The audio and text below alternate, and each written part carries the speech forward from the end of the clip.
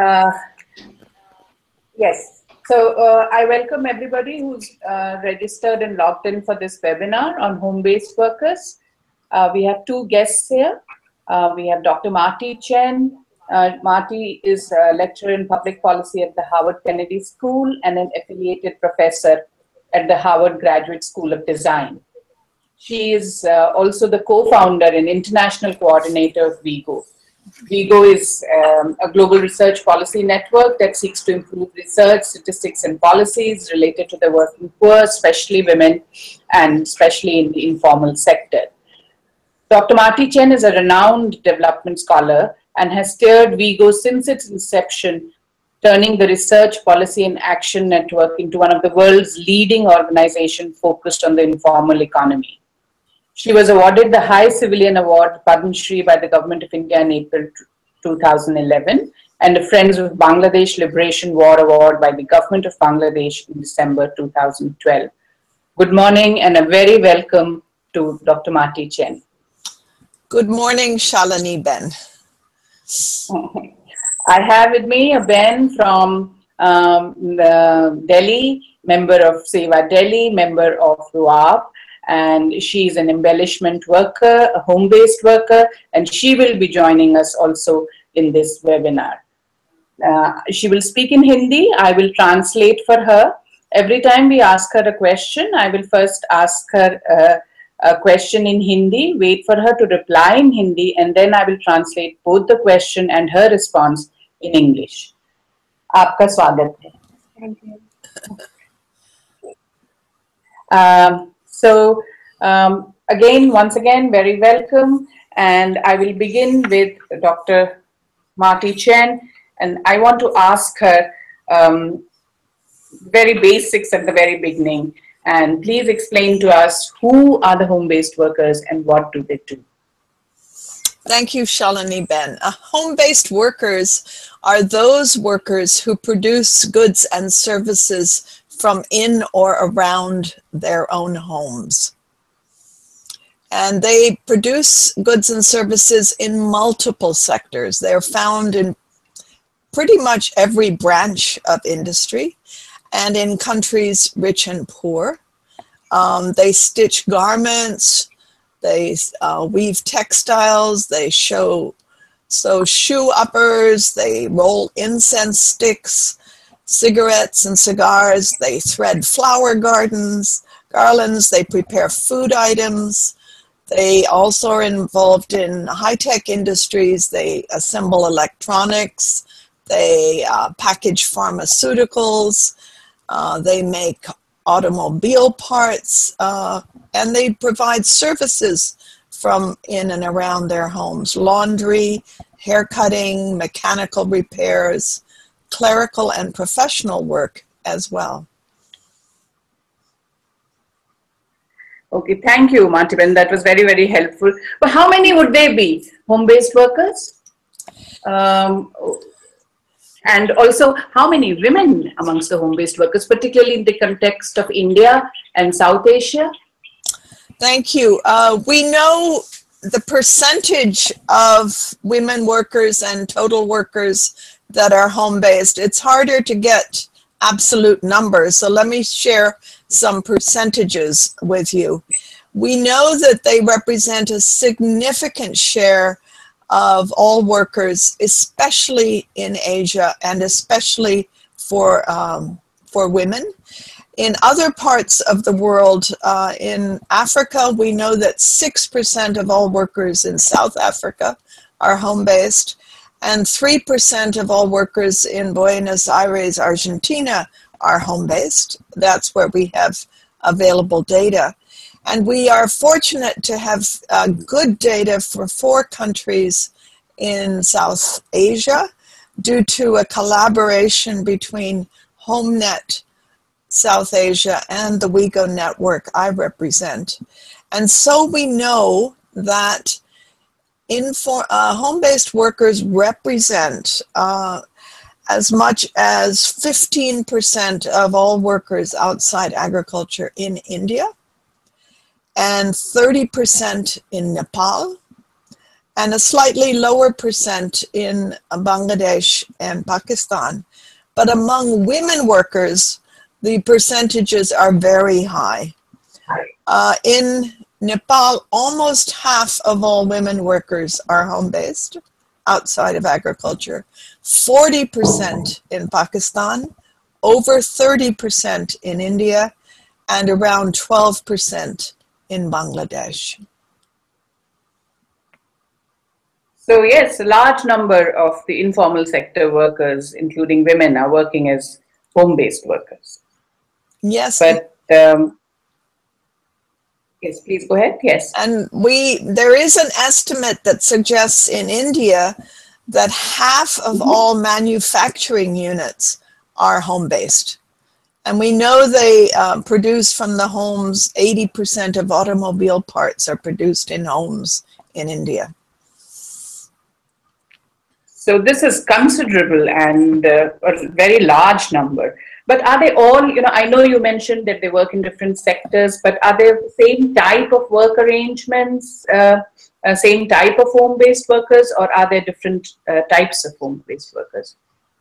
Thanks for asking that because there are two broad categories of home based workers there are the self employed, and then there are the subcontracted. Um, and the self employed buy their own raw materials supplies, uh, negotiate their own work orders, and sell their own finished goods, while the subcontracted uh, rely on firms and their intermediaries, their contractors, for work orders, for raw materials, and for the sale of finished goods.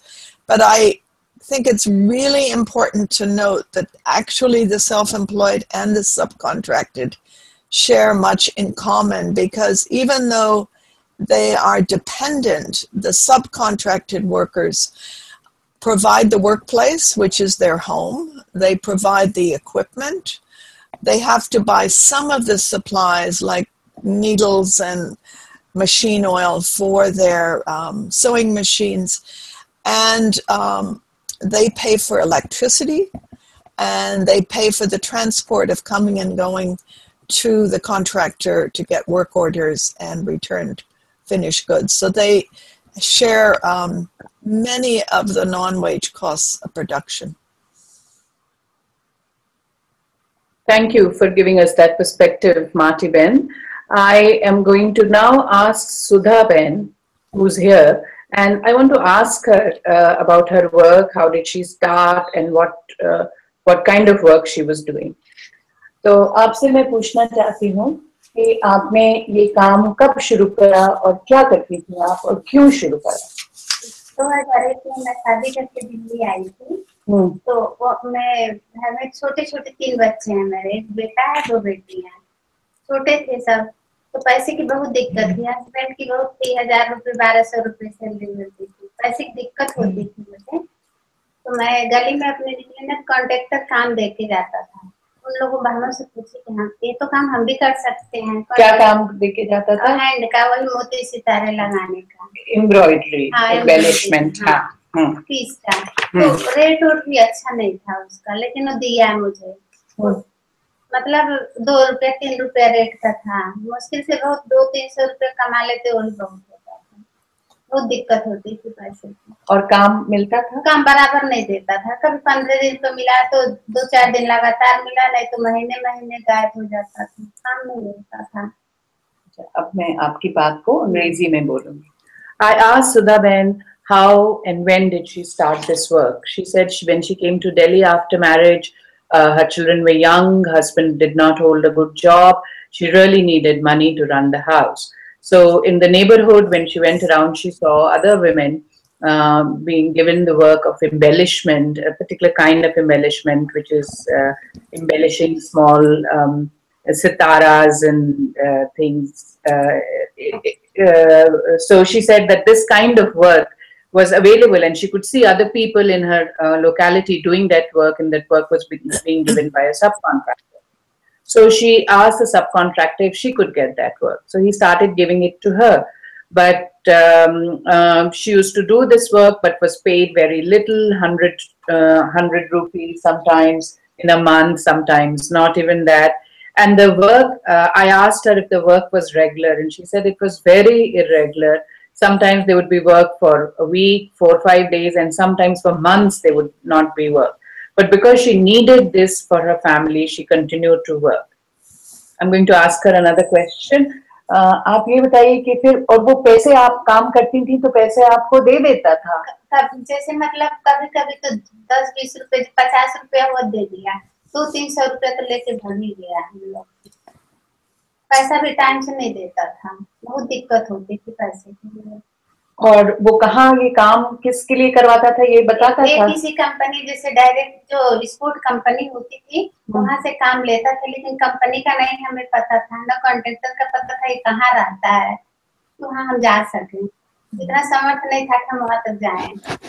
तो what she's telling me is that uh, she was not paid regularly. Even for the work that she was done she was not paid regularly. It was always delayed payment and on several occasions the contractor ran away with some of the money for, that was due to her and she could not get it done.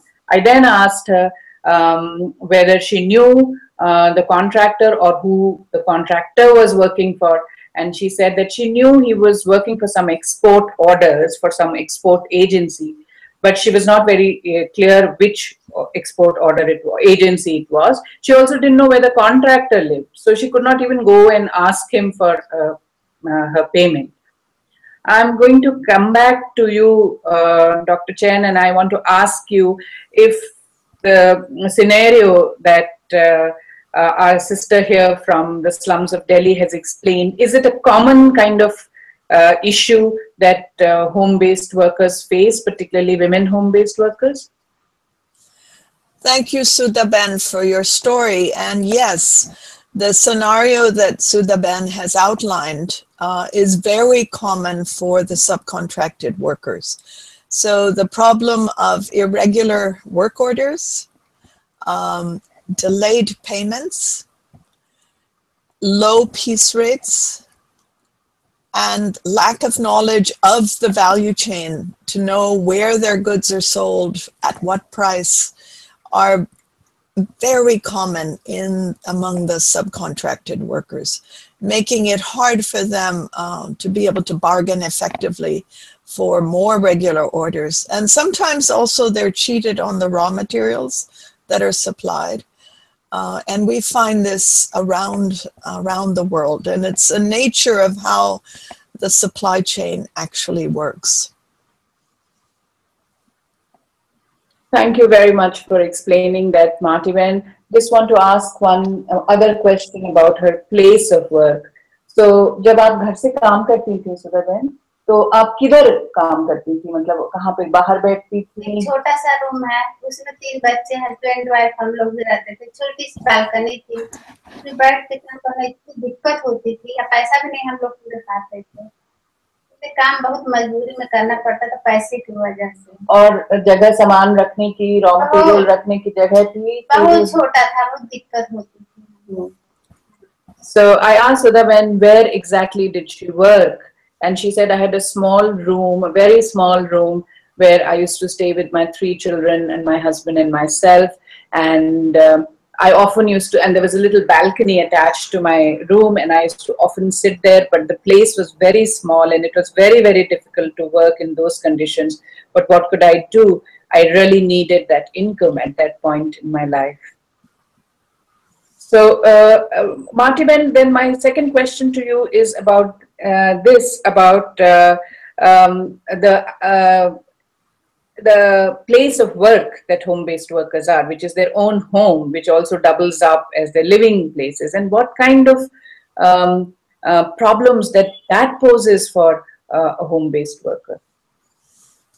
Again, uh, thank you for sharing because what you have described is very common as well. We have the WIEGO network together with the Home Nets have done studies of home-based workers and for the most part they live in single room dwellings, maybe a second room.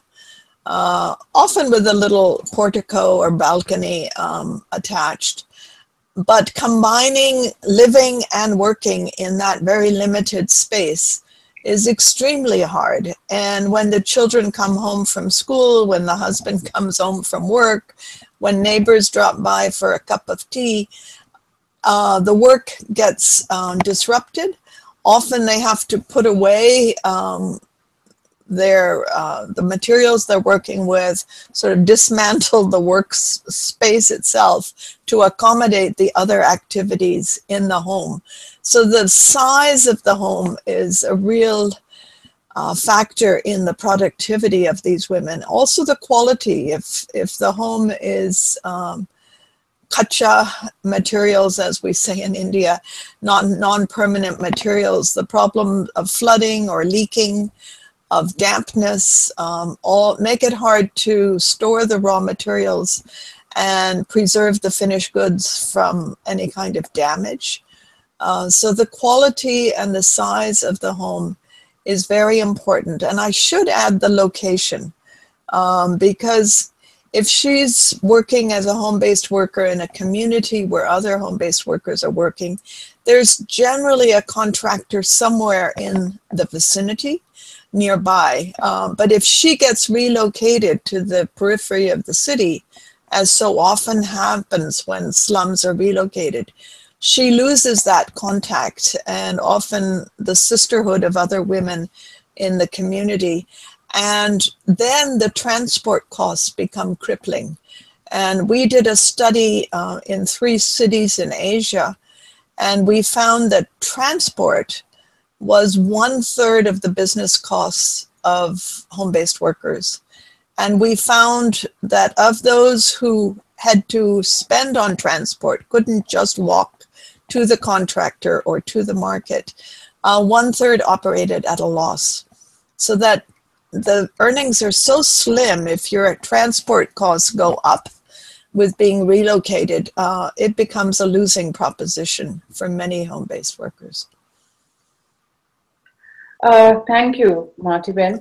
I want to go back to um, one issue that you dwelt on, and she also mentioned, which is that working from home. So uh, the the constraint um, uh, that that emerges out of the fact that you're working from home, but also the isolation, the disconnect with the larger um, community, the disconnect with the larger labor movement. How does that impact? And uh, do you see it in other parts of the world and other sectors of the home-based workers also? Yes, I think the isolation of being working in your own home is a major factor in at least two regards, uh, important regards. One is knowledge of the market, of knowing uh, market trends, product design, pricing, where are the good suppliers, do they have quality stock, all of that market knowledge that one needs to be a productive worker is, is particularly hard um, for women home-based workers, particularly for those who work from their home because of social norms that dictate that women shouldn't move outside the home, shouldn't deal with strangers. It makes them particularly isolated, but it also isolates them from other workers in their sector. So it makes it harder to actually organize and to find solidarity with other workers um, and to be able to learn from other workers uh, how they have dealt with these constraints and together to bargain for a better deal. Um, so the isolation is a very big factor uh, for those who work from their own homes. But um, the other question that I wanted to ask, again related to the fact of isolation, is that uh, have we got evidence to show that the wider economic trends and um, uh, trends like recession impact home-based workers? Or because they are so small and they are working from the confines of the home, are they sort of protected um, from some of these? Uh, if not, then how, how do they cope with them and how does it manifest itself in their work and uh, earnings? You've raised a really important point, Shalini Ben, because most policymakers don't see these workers. They're not visible because they're isolated in their home. And so they don't even stop to think how wider economic trends will impact on um, the home based workers, who are, again, 30% of all women workers in India. So we have done a series of studies, one on the impact of the Great Recession on uh, informal workers, not just home based workers. And of course, the home based workers who were collect, connected to uh, global supply chains, export manufacturing, they felt the impact of the Great Recession almost as soon as anyone did because export manufacturing sort of uh, really ground almost to a halt. Uh, we did find a difference. Those who were in domestic supply chains could keep going a little bit better than those in the export. We also have found in our study of home based workers in three cities in Asia that inflation has a huge impact on them, um, that the prices for their supplies increase, but the consumers, if they're in the domestic chains, are often other poor people and they can't raise their own selling prices. And the piece rates that they get from the global supply chains don't change maybe even in 20 years, no matter what the fluctuations in the economy.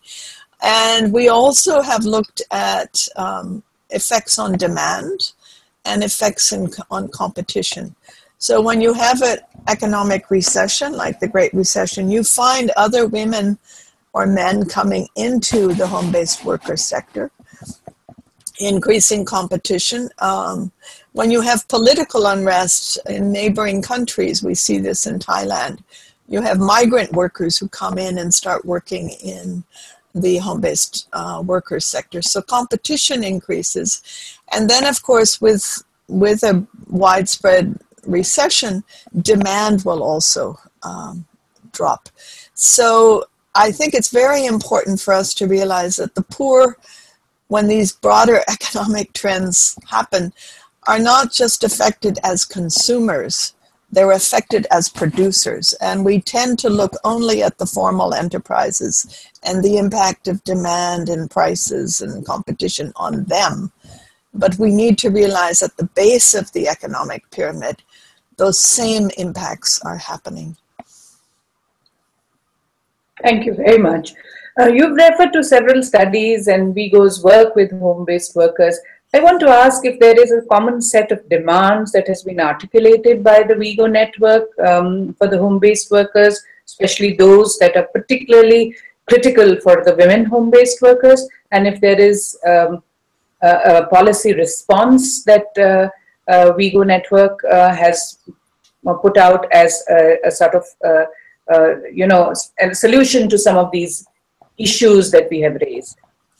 Thank you. Uh, the WIEGO network is very committed, as you know, to working with uh, informal workers, home-based workers, and their organizations to develop uh, platforms of demands. And we also are very involved in facilitating delegations of workers to go to global forums.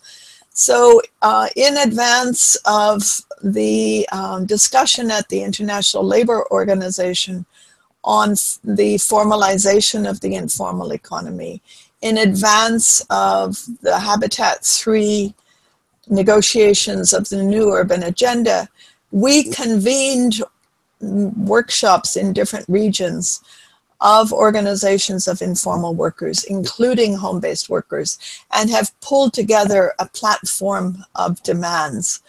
And I would divide them for home-based workers into three, let's say, sets. One is the common demands with all informal workers, which is a demand for legal recognition and identity as workers. It's a demand for uh, social protection coverage, the demand for recognition of their organizations and there are they are organizing a point that I know Sudhaben's example will illustrate. Uh, so recognition of their organizations and the right to a seat at the policy table when decisions are being made in cities, in national governments that would affect their work and their lives, they would like a seat at the table. And then when it comes to home based workers in particular, there's a set of demands around the value chain dynamics, which we've talked about the piece rates, the irregular orders. So there's all of that negotiating. But there's a set of demands that relate to public policy, particularly urban policies.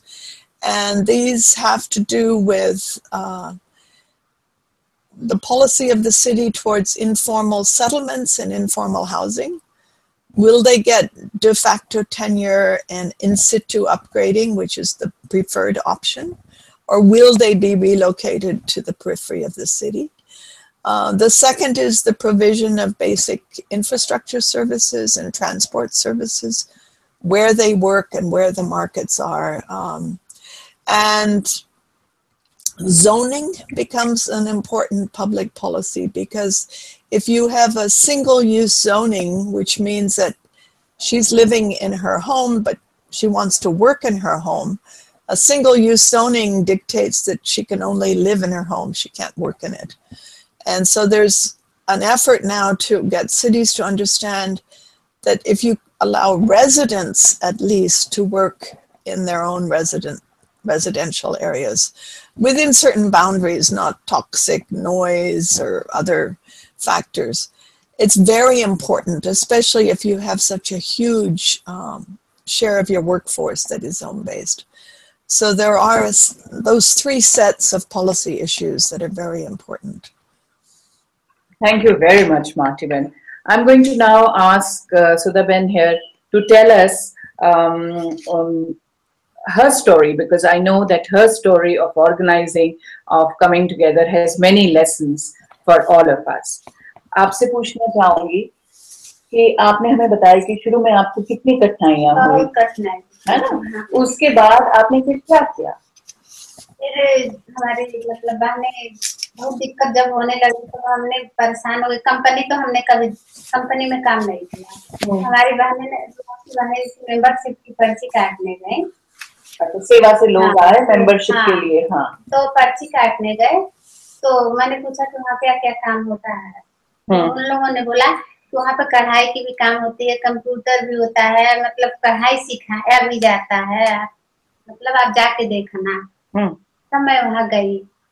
दस रुपए पाँच रुपए तब membership की पर्ची कटती थी। तो गई पाँच रुपए मेंबरशिप कटवाई और वहाँ पे एड्रेस पे गई। तो हमें एक पीस मिला। एक पीस की मतलब अच्छा बना के लाना। तो आप काम ढूँढने के लिए हाँ, वहाँ काम ढूँढने के लिए गए अच्छा हाँ, हाँ।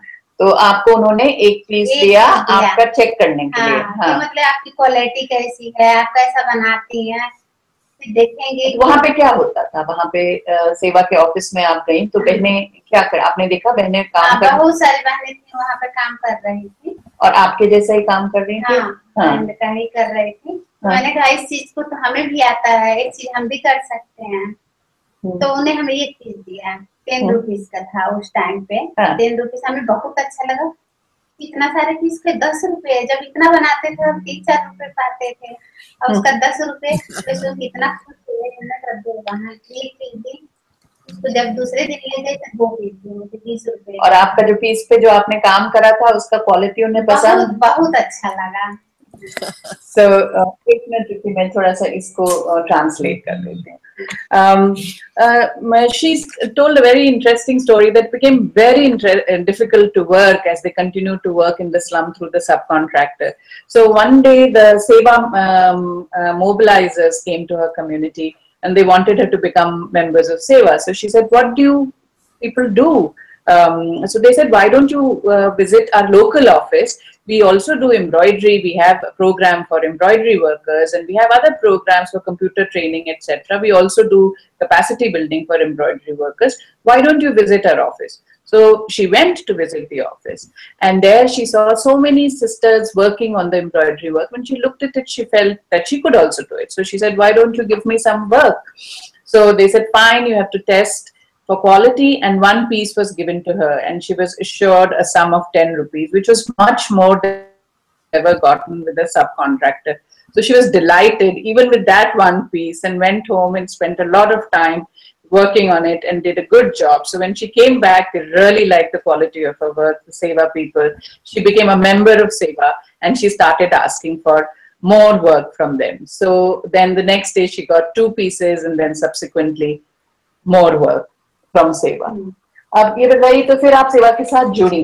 हाँ। वहाँ पे आप लोग आपको मालूम था किसके लिए काम करते हैं? और आगे का अभी हमें बताइए कि आपने जो वहाँ से आगे बढ़ी तो फिर कैसे बढ़ी आपकी हम लोग तब घर में ले जाके जब सेंटर से फ़ीस ले जाके काम करते थे। सेवा से जुड़े हमें आठ साल हो गया। अच्छा। आठ साल से हम काम कर रहे हैं। हम्म। पहले हम घर में ले जाके काम करते थे। दो हम्म। साल तक तो घर में किए। हम्म।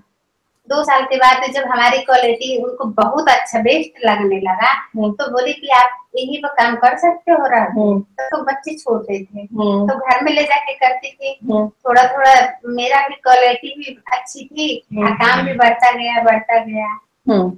तो हमको फिर यूनिट पे यहाँ रख लिए। तब तो चार पाँच पाँच साल से हम परमानेंट वहीं पे बैठ के काम और रुआब की भी जब संरचना हुई तो उसमें भी आपका हाथ रुआब का शुरुआत 2011 में हुआ। हम्म। उसमें हमारी बहु रुआब से हमारी महिला एक संगठन है।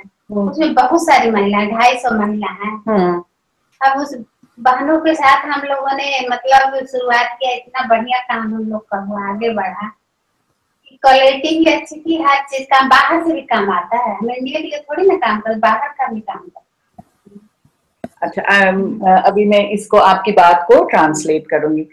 So one she started getting from work from SEWA she used to they had they would give out work and uh, pay her for it. She really liked it and she would take home work so she would go to the center collect the sort of order and go home and work. But her because of the uh, regular work that she was getting she was her her skills were also improving and she was doing good better work. So initially they asked her to come and work at the center but she had young children she couldn't. But after a few years she decided to go to the center and she started working there.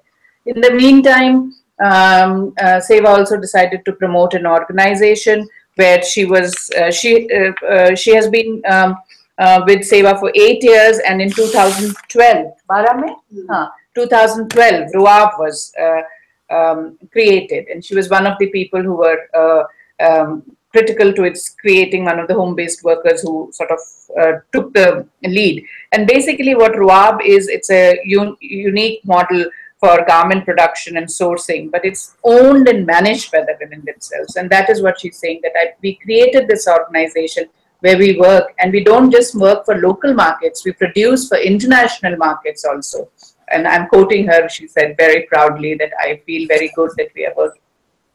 तो uh, uh, मैं आपसे ये पूछूँगी कि फिर रुआब में जुड़ने से आपको क्या uh, फ़ायदा हुआ?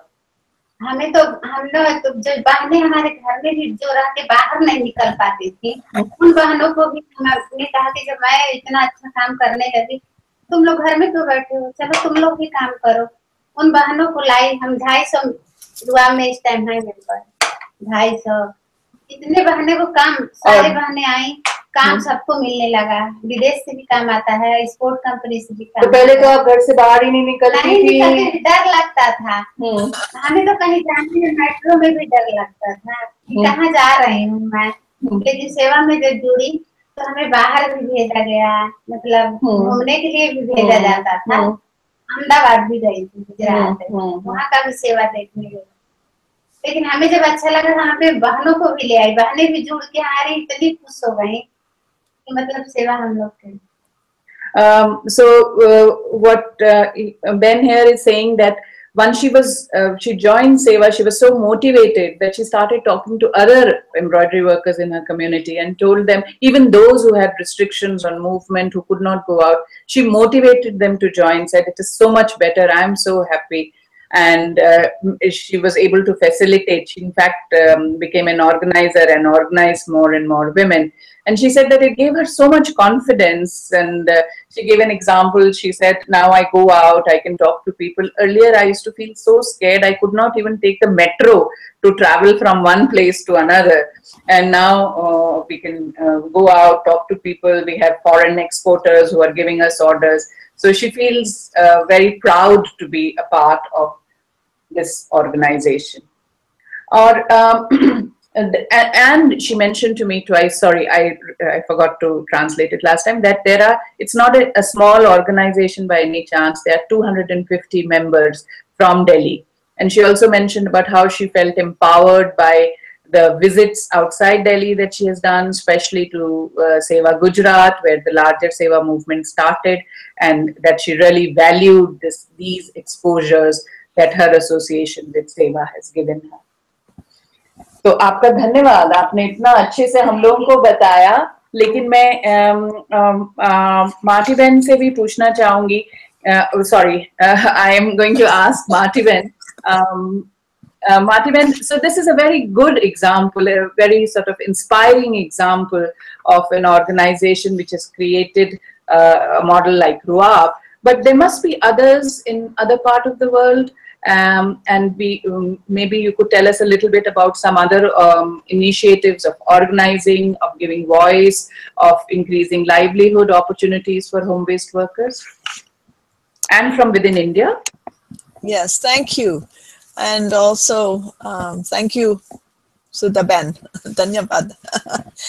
um, we are pleased that home-based workers actually are organizing. And we now um, have three regional networks of organizations of home-based workers. Uh, the original was in Southeast Asia, um, started uh, in the Philippines and Thailand and has expanded to include uh, Cambodia and Indonesia and uh, Laos. We have uh, HomeNet South Asia, which includes five or six countries in the region and many affiliated organizations. And there's HomeNet Eastern Europe, that was started by an organization of home-based workers in Bulgaria. And the WIEGO network is trying to build similar networks in Africa and Latin America, uh, where there are fewer home-based workers, but still significant numbers in craft and artisan production and other traditional activities. So I think the movement of home-based workers is alive and well.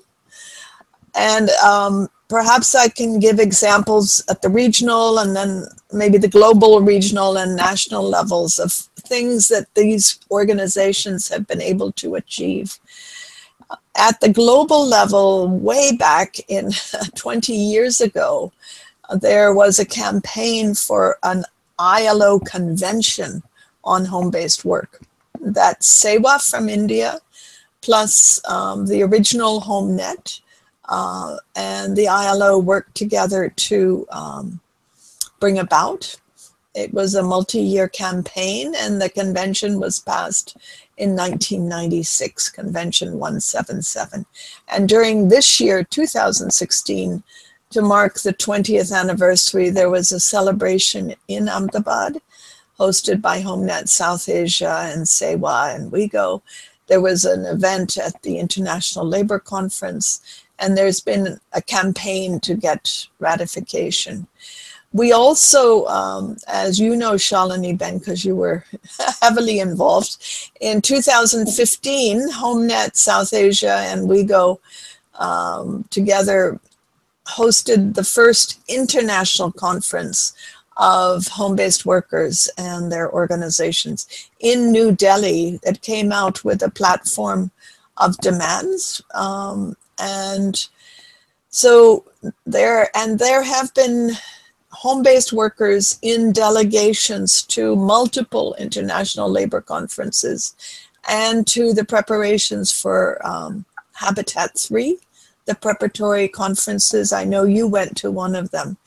So they have been seen and heard and felt, if you will, um, on the global stage and were instrumental in putting informal livelihoods and the needs of informal workers into recommendation 204 from the ILO on formalization and the new urban agenda of Habitat 3. Uh, there have also been regional efforts uh, with SAARC, SEWA and HomeNet South Asia have created a project called SABAH, which is to set up trade facilitation centers and marketing, um, like perhaps not as uh, developed a model as Ruaab has proved to be, but also supporting the marketing and product development. Uh, and then uh, there was a regional conference organized by HomeNet South Asia with HomeNet Southeast Asia in Thailand uh, to bring to the attention of city authorities from eight countries in the region the findings of um, a multi-city study done by the HomeNets of how city policies affect um, home-based workers. And I think, you know, coming out of that Asia City Declaration and the Delhi Declaration, uh, there was much greater recognition of the home as workplace and the fact that slums and squatter settlements are actually sites of economic activities. And there's a greater push to integrate home-based workers and their livelihood activities into local plans, economic plans. And um, so I think we've come a long ways. HomeNet Thailand in, in Thailand um, has been very instrumental in pushing for a number of pieces of legislation and national programs. And they were part of the civil society movement that pushed for universal health care coverage that now extends to all informal workers, including home-based workers. And they sit on some of the boards and implementation committees for the Universal Health Scheme. Uh, they also pushed for a Home Workers Protection Act, um, which entitles uh, home-based workers in Thailand to a minimum wage and some occupational health and safety provisions and all other sort of fundamental labor rights. Uh, they also worked with the Ministry of Health to get an occupational health and safety scheme, three years for home-based workers and other informal workers. So there's a lot of work happening in Thailand and also in India, thanks to SEWA and its sister organizations, there's been a lot of work to improve the housing and the basic infrastructure services for home-based workers.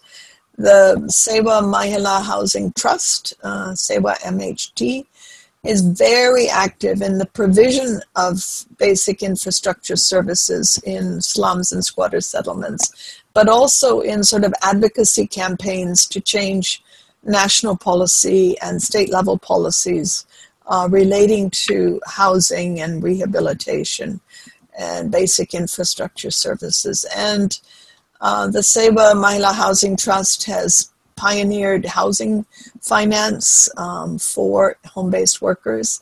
And SEWA has recently um, established a uh, housing finance corporation, um, the SEWA Grih Rin Limited, um, for working poor women, including home-based workers. Uh, and then there are a lot of examples at the local level. So I would just say that um, many more home-based workers need to be organized, but more are organized than I think people understand. And there are these three regional networks, and there's a growing international movement of home-based workers that are pushing for the convention to be ratified, pushing for supportive public policies, and pushing for improved terms of trade within supply chains for home-based workers. Okay. Thank you very much, Martiben. That was very helpful. And I just want to mention that uh, uh, this discussion that we, we uh, which you have initiated and this uh, about the cities and the home-based workers, we would be carrying it to the webinar tomorrow and where we will have the um, representative from Sewa um, Mahila Housing SEWA Trust telling us about some of their initiatives and experiences. So yes, so we will carry some of your the learnings from you from today to ask some of the questions and understand the initiatives of Mahila Housing SEWA Trust. So I think it has been a very, very interesting discussion and we have understood uh, so much. You've given us a perspective which is both global, regional, and also local. And our Ben here from SEWA has explained to us from the perspective of the grassroots worker what changes it can bring to her life. Before I wind up, just a couple of questions. There was some, there was registration and some questions, and many of them we have answered. I've looked at them. There is uh, uh, uh, there, uh, is a little bit uh, that I'd like you to comment on. Uh, two things. One is um, um, the global supply chain and home-based workers and how to bring awareness, how to bring visibility. These are the recurring themes that are um, uh, a part of the discourse on home-based workers. So would you like to comment or uh, reflect a little bit on it before we wind up this session? Yes, thank you. We all know that global supply chains is part of the new global economy and how production is being organized around the world. And I know there's a lot of attention paid um, to the workers in factories uh, in global supply chains, particularly in the garment sector, let's say, and what's happened in Bangladesh with some tragic uh, incidents. And the WIEGO network and SEWA have been long committed to pushing the analysis and the advocacy and action focus down the chain to the home-based workers um, who are subcontracted in these supply chains. And as Diane Elson, um, a leading feminist economist, observed at one of WIEGO's General Assembly, she said, I cannot imagine a greater distance in terms of power than between the CEO of the lead firm in a value chain and the home worker who's producing goods for that value chain. So wealth and power distance between the CEO and the home worker. And the homeworkers, uh, as I said and as we heard from Sudhaben, earn very low piece rates. And yet, they have to cover all these non-wage costs of production, the workplace, the, the equipment, the electricity, the transport. Uh, and if there's fluctuation in demand, the way that firms up the chain deal with it is they just don't provide any work orders to Sudhaben and her sisters in these supply chains, um, making their earnings and their work very unstable and volatile. And I think uh, we are now engaged in an exercise to figure out what piece rates should actually be for um, the home-based workers in these supply chains it has to be above the minimum wage because the minimum wage assumes the worker is going to a factory where all the costs of production are paid for by the employer. But the home worker is having to pay many of the costs of production. So we need to really think through what uh, a decent piece rate should be for these workers. And we know that um, in export manufacturing particularly, early studies suggest 40 to 60% of the workforce in these global manufacturing supply chains are informal, right? Are, and most of them are not in factories. They're out in, in the homes where they remain really invisible, even to the activists, even to the labor organizers. So that has been an, a very important uh, niche that led by SEWA, the Home Nets and WIEGO have tried to tried to address. Thank you very much, Marty Ben. And uh, um, the point that you have raised that this invisibility in supply chains of the home-based workers and how they remain invisible to the, even those who, for whom they are producing at one end, and at the other end, the labor activists and the labor movement.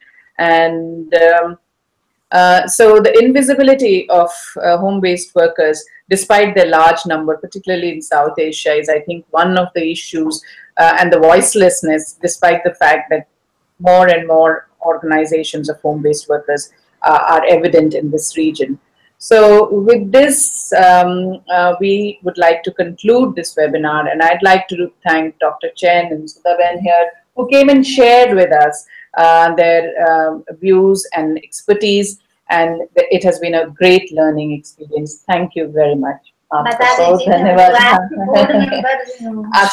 So um, uh, Ben wants me to tell you and the others that she's also a board member of Ruaab and she sits in the meeting and takes decisions. So yes, um,